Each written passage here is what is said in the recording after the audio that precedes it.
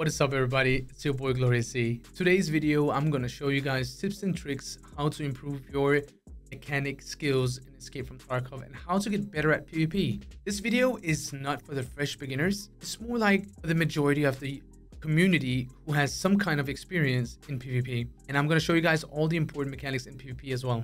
So it's gonna be kind of a base, it's all up to you how you want to implement it in your raids and how you want to use the tips and tricks that I'm going to show you today in your games. Let's get into it. First clip is about checking your surroundings and not tunnel vision. As you guys can see, I see a guy towards kitchen. I'm pushing straight towards him without really being careful about my surroundings. And when I do, it's too late. This is a typical mistake a lot of players are doing when they're pushing a guy. Because I didn't check my surroundings, I would have been dead as soon as I came into the kitchen because of the player who was holding the angle. The next clip is about wide peeking a corner. Without any information, without knowing how many enemies there is. As you can see in this situation, I peek two guys at once, putting me in a disadvantage because it's one crosshair against two. So what you rather want to do in this situation, you want to gather some information and also narrow the enemy's field of view. So what you want to do is peeking them one by one, putting them in a disadvantage and have the upper hand like the way you see I do in this video right here. Taking the fight one by one will make the odds a lot more even in this situation as you can see. As I approach the kitchen, I gather information on the enemy on the stairs to my right. I jump across to gather all the information I need to approach the fight, such as is there more than one player, what angle is the enemy holding, etc. As I get in the right position, I fake push the enemy so I can catch the enemy off guard, which worked in this situation. Lot of players like to hold angles and not making the move. This bait almost works every time unless the enemy don't really want to fight. The same bait works in other situations as well, such as being the one who's getting pushed. This time, you're stuck in a room and you need to catch the enemy off guard because you have the disadvantage. Make the enemy peek while you holding the corner gives you a huge advantage. Next up, we have the heal cancel mechanic where you bait heal yourself so the enemy thinks you're healing and pushes you because of the audio still makes it sounds like you're healing. The way you do it is by pressing 4 in my case and then press left or right on your mouse to cancel the healing. While the enemy pushes you, you already have your gun in your hand which will catch your enemy off guard and leading into an easy kill because the enemy still thinks you're still healing. Up next, we have a mechanic where you use your gun as a bait and make your enemy think you're about to peek the corner. And this will make players, especially the nervous ones, pre-fire the corner without causing you any damage. Doing this multiple times forces your enemy to reload and gives you time to push up close and secure a kill. Another really important mechanic is by being unpredictable, making your enemy think you're going to make a play which is well known in the situation and position you're in, but you're doing a completely different one, which baits the enemy into a counter reaction to the original baited play while he's running into your trap. Since there's endless way for this mechanic to be applied, you can be creative with this and play off your experience. Another example that I use often on stream is to bait the enemy with the sound of different floorings such as in Resort on Shoreline. You take a quick step onto wood to make your enemy think you'll take a certain path, but in reality, you change your direction straight away and take a different path, your enemy will most likely not be able to react to the different audio in the time, giving you a moment of surprise. Using your nade on a 1v1 close combat is always a bad idea. As you can see in the clip, the animation of pulling up the nade gives the experienced player a time window in that you cannot react to his push. So avoid using nades in close quarter combat in situation like this. The way you want to use your nade is by using it to make the enemy move from the position they're heart peeking, so you can make a play out of it. As you can see in the clip, my nade forces the enemy to move back into the room while I'm covering my audio with the explosion and it gives me enough time to be able to push up close to the enemy to catch him off guard. A lot of people are asking me, how do I know where my nades are going? Well, let me explain. It's not that simple. There's a lot of variables such as your strength, what nade you're using, and if you're standing still or moving. But you can use the tip of your pointer finger as a rough guide to where your nade is going. Let's talk about audio in Tarkov.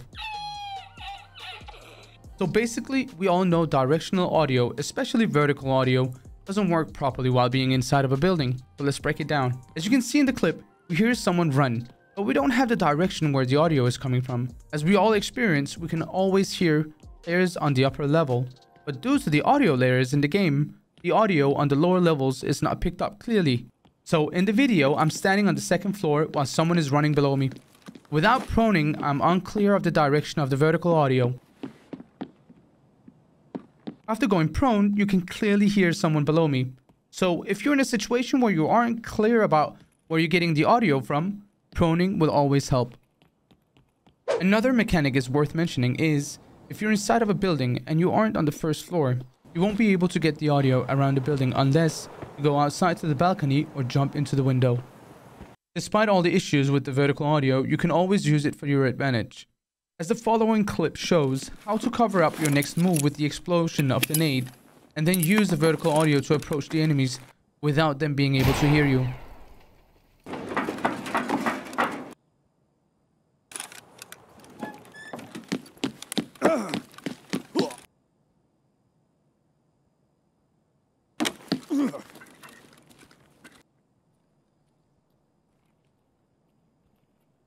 In a gunfight, it's important that you always think about possible options for both yourself and the opponent.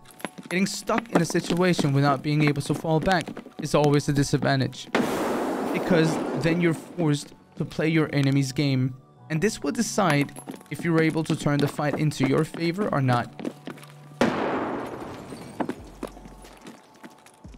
The importance of the right shoulder peek and the left shoulder peek.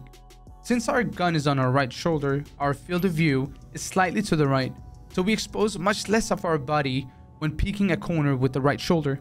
The difference is visible in this clip. As you can see, peeking with the left shoulder will expose almost your entire upper body compared to the right shoulder peek. Let's talk about inertia and how to build up momentum while being in a fight. As you can see in the clip, I use my momentum to get the info, even though one of the corners are small. So by running into the wall gets me the momentum speed enough to swing inside, catching the enemy off guard. In a situation where you're forced to peek with the left shoulder peek, I would highly recommend swinging out with the inertia momentum as shown in the clip. Running in a circle will build up the momentum speed to be able to swing wide and off angle of the enemy's crosshair. The next shown clip, I want to talk about how to ignore ergo on your gun. Putting your gun into ADS out of the sprint will make the ADS almost instant.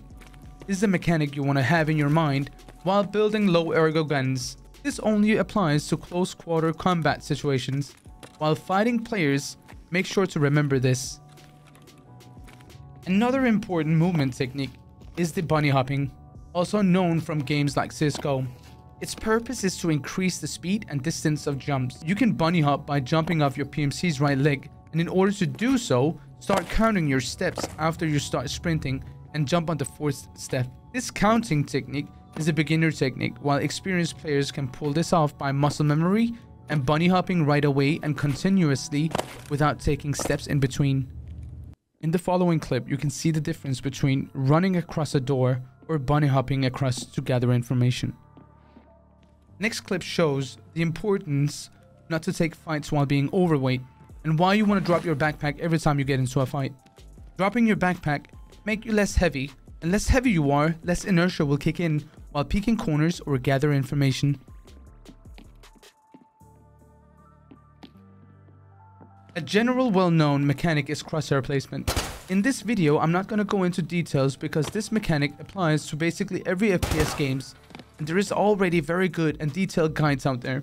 In short, Always make sure have your crosshair placed on head level of your enemy while peeking corners and while getting pushed. Alright guys, that was it for this uh, this video. I hope you guys enjoyed today's YouTube guide. Let me know what you learned. Let me know what you think you're gonna use in your future raids and what do you think is was useful. And if you have something new, if you have anything you want me to cover up, any YouTube videos, any any youtube guides you want to watch let me know in the comment section and i'll take a look at it and make a youtube guide out of it. So hope to see you guys on the next one. Take care. By the way remember to hit the like remember to follow the channel and remember to hit the notification bell. I love you